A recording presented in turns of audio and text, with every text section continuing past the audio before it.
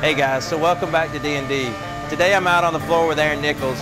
We're taking a look at a part that we're doing on our DVF 5000. It looks pretty simple, it's, it's, uh, but it's got a lot of complicated angles on it. So what we ended up doing was tabbing it out. And you might look at this and say, holy cow, why are you starting with such a large piece of material? I asked the same thing. Aaron, tell me what's going on. So we found out that 90% of this part all gets rotated at the B and C axis at 90 degrees.